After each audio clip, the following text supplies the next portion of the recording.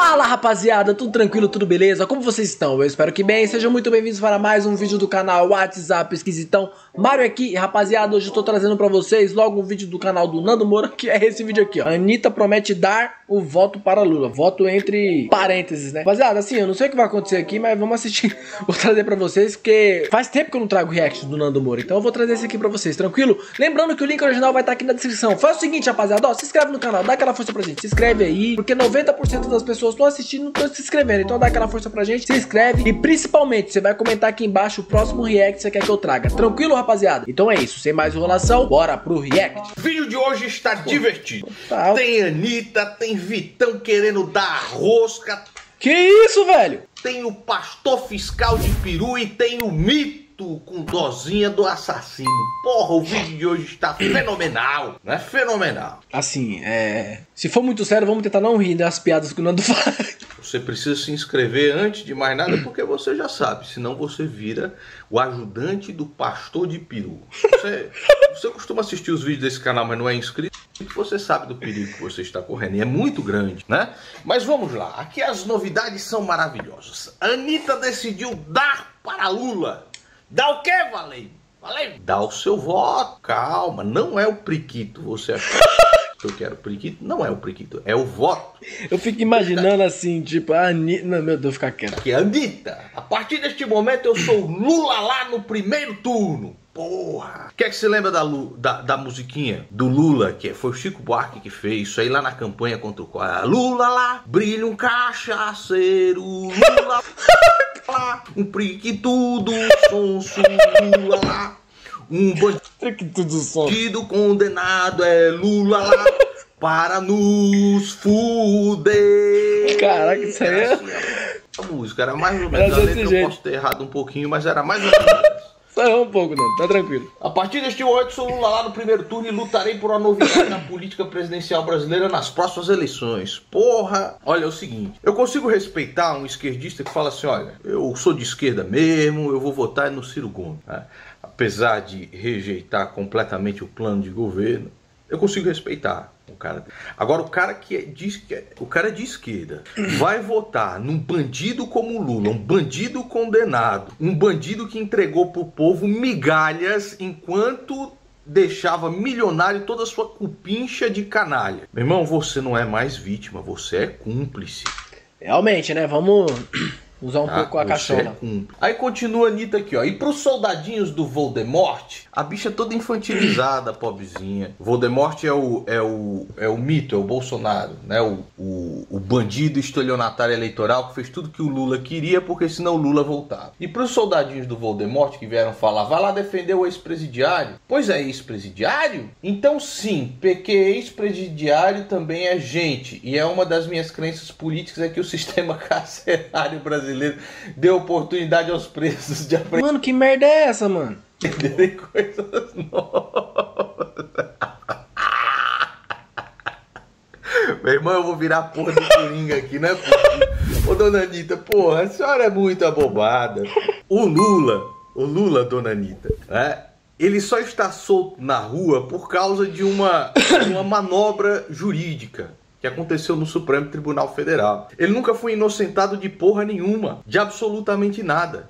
Ele se valeu da morosidade e da leniência do sistema judiciário brasileiro para estar na rua.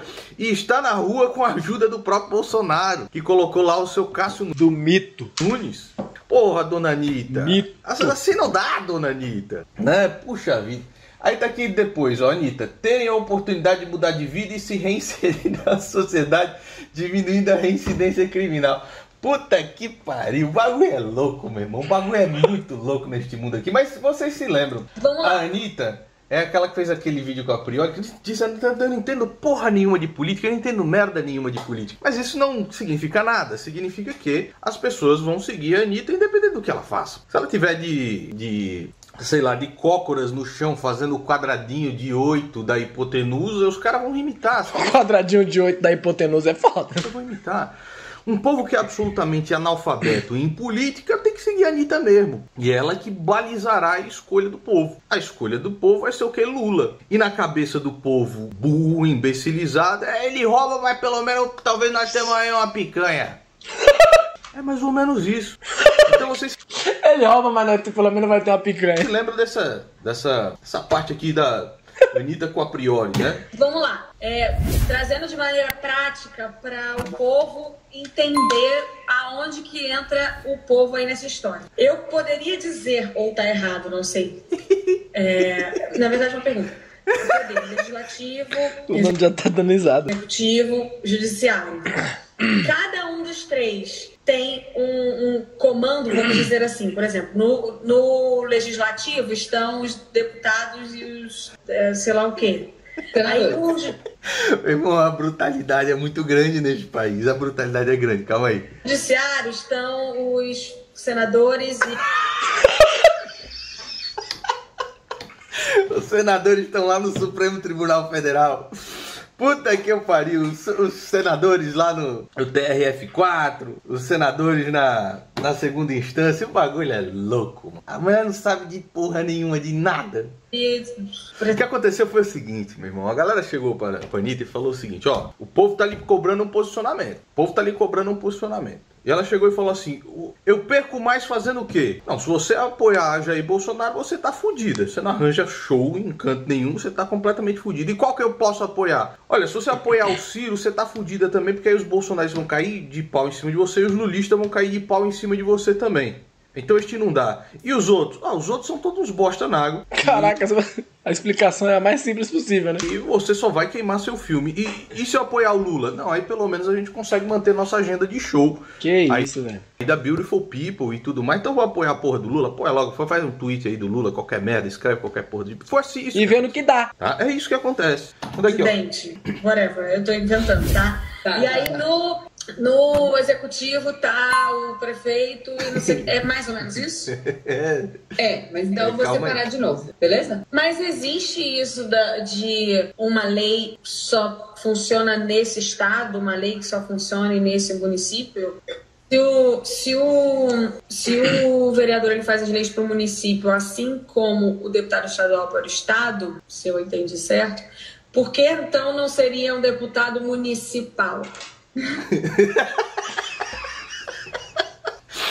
Cara, é, de- é, você tem que rir porque senão você não chora. Mas são essas pessoas que vão balizar, vão balizar a opinião política do povo, da massa, da massa ignária brasileira, cara. É isso aí. E aí fica cada vez mais difícil de se entender. Exato.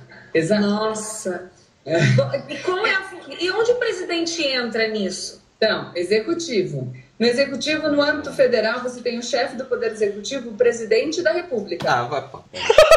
É foda, cara. É, o bagulho é muito louco mesmo. Daí aí depois o Vini mandou aqui, olha, cara, você tem várias coisas aí pra você comentar. Você O tem Nando já vai, ah, vai pra puta que pariu. pra você se comentar. Então, por exemplo, aqui, ó, Vitão, sem censura sobre tema considerado tabu da vida sexual, prazer na próstata. Ex-namorado de Luísa Sonza fala abertamente sobre sexo anal e prazer na próstata, porque agora o Vitão está descobrindo as delícias Que porra é essa, Vitão? da mandioca. Sim, notícia importantíssima pra você e pra nada, Anderson velho. Nunes, Se você tivesse se, se você tivesse se inscrito neste canal, né? se tivesse clicado no botão inscreva-se nesse canal, nada disso teria acontecido. Nada disso teria acontecido. Mano, do nada cara. Você nos pouparia, você pouparia a humanidade de saber quem é Vitão. Tocando lá o, o, o sol do Sweet Shine On Mind. Está aqui de novo. Entrevista para a revista Caras esquentou e o cantor não deixou de falar sobre suas experiências sexuais, que é mandioca na arroz. Nossa, é que é demais. Vitão fala sobre o prazer anal e revela: Tenho descoberto o meu corpo cada vez mais. Mano, que porra é essa, mano? tipo assim. Eita, é... Por que, que o pessoal tem que fazer essa cara aqui quando visualizadazinha, tipo mais? Eu vou fazer isso. Vocês me chamam disso aqui de Henrique Cristo, mas não é não. Olha só. Ah, nem fudendo, mano, o Moura tá metendo essa. Assim, ó, com um zóio de lambisgoia caída. Só de. Olha. Mano, mas você tem que ser. Por isso que é coisa thumb, né? maravilhosa.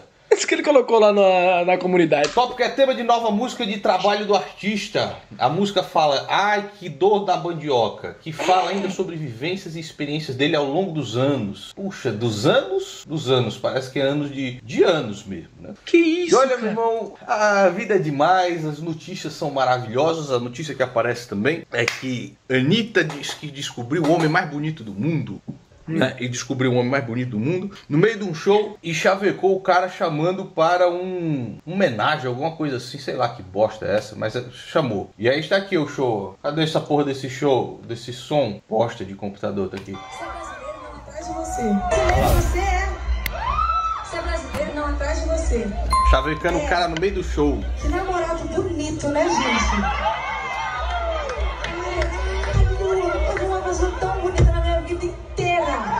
Isso, as da Anitta, mano? Meter esse louco mesmo? Chamando o cara para degustação. no meio do show. Agora, se fosse um homem fazendo isso, fosse. Se fosse um Gustavo Lima, se fosse um Eduardo Costa fazendo isso, tava fudido. Tava fudido. Acabava o homem. Né? E aí está aqui, ó. Quem é o homem mais bonito deste mundo? Aí está aqui, este Kengo. Olha Este Kengo. só, olha as carinhas. Meu irmão, eu vou fazer essas caras também de lambisgoia aqui, meu irmão, e postar. Olha só aqui, ó, na, na neve. Assim. Um beicinho, beicinho de lambisgoia. Que porra é essa, mano? Ah, vai pra puta que pariu. Vai pra puta que pariu, meu irmão. E aí o cara falou o seguinte: Não, não vou tomar, não vou topar isso daí, não, porque eu sou comprometido, porra. Sou comprometido. Se fosse, como eu tô falando, se fosse um homem fazendo uma proposta dessa, o povo ia cair de, de pau em cima. Então cadê essa, essa equalidade. A mulher faz um desrespeito desse, o cara com namorada ali do, no show. Aí o cara falou assim: não, não, minha senhora, eu tenho namorada aqui, não posso ficar colocando meu mangusto em qualquer lugar, não. né? E aí o, a Beautiful People não vê isso como, como um tipo de assédio. Não vê. Não vê de forma nenhuma. É, os dire... Onde estão os direitos iguais? E aí nós temos para finalizar este grande vídeo de merda, este vídeo de merda. Vamos ver o que vai, sair desse final. merda. Nós temos aqui o mito. O mito é ele mesmo, com a linguinha presa. Gostoso, né? Da família de bandidos. Ele, um grande bandido, na sua família de bandidos, tem a linguinha presa. Ah, Então vamos ver aqui. Ele tá com pena do assassino. Vocês assistiram o vídeo de, de domingo, de segunda-feira? Ele está com peninha, olha só. A, aquela grande parte da imprensa mostrou as imagens do tiroteio dentro lá do, do recinto. Não mostrou o que aconteceu lá fora. Nada justifica a troca de tiros. Nada justifica. tá? Vai lá fora. Está sendo concluída a investigação pela Polícia Civil do Paraná. Talvez isso conclua hoje, né? Haja uma coletiva, talvez. Mas a gente vê que teve um problema lá fora, onde o cara que morreu, que estava lá na festa, jogou uma pedra no vidro do, daquele cara que estava Parece que foi um copo de cerveja. Mas ele jogou pelo quê? O que, que ocasionou o cara jogar lá? Não foi o cara chegar doido, xingando todo mundo na puta que Ah, puta que pariu, os petistas filha da puta, queimar no inferno, seus bandidos, vou maquinar vocês. Foi isso, pô, que ocasionou. o carro para lá de fora. Depois ele voltou e começou aquele tiroteio lá onde morreu o, o aniversariante. Outro foi ferido, ficou lá caído no chão, e daí o pessoal da festa, todos petistas, encheram a cara, a cara de chute. Né? Coitadinho. O cara chega lá, mata o pai de família e você não, não. Pô, você chutou a cara dele, coitadinho. Como você vai chutar a cara do pobrezinho, né? Bem, Caraca, a gente escuta cada coisa, né, mano? A gente fica tipo, você é louco, não. Porra, vocês não tem nem o que falar. Mano, meu Deus do céu. é violência, né? Os petistas era violência do bem, chute na cara de quem tá deitado, que tá caído no chão. tá Ô, coitadinho. Coitadinho. Chutaram a cara dele. Chutaram um pouco, hein? Chutaram um pouco, hein? caído no A chão. gente não sabe Então, cachorro direito. Ai, se ferrar. E aí depois o Mito decidiu ligar pra família. Decidiu ligar pra família. Quem está aqui segurando este esse celular? Se não ele mesmo, o Tubarão Martelo, fiscal de peru. O fiscal de peru. É pena que eu não tenho o senhor Raposo aqui pra nós verificarmos se o peru dele cresceu ou não. Né? Porque aí nós, nós vimos a grande denúncia uma denúncia seríssima, que o, o bonequinho da raposa não tinha peru. E eu até vou lá ver se o Puta, pode crer. Rapaziada, eu trouxe esse vídeo no, no canal. Acho que se eu não me engano, eu vou deixar no final do, desse vídeo aqui. Vou, vou pegar de novo o boneco, vou abaixar as calças dele pra ver se o peru tá. Vou abaixar as calças dele. Está aqui, senhor Tony de Paulo, fiscal de peru de boneco, Ah, mostrando aqui o mito em solidariedade com a família. Puxa merda, quem que, que, que não lembra desse cara? Essa semana fui atacado! O senhor, o senhor aprendeu, né, senhor Tony de Paulo? Quando o senhor for se referir a mim no Congresso Nacional, é sua Vossa Excelência, senhor ilustríssimo Luiz Fernando de Moura Caninha. É assim que você vai se referir a mim agora, seu fiscal de peru. E aqui está aqui o mito, ó.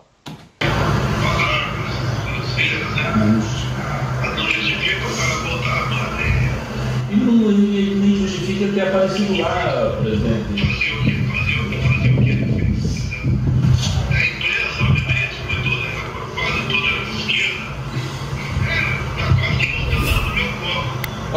Muito bem essa merda, né?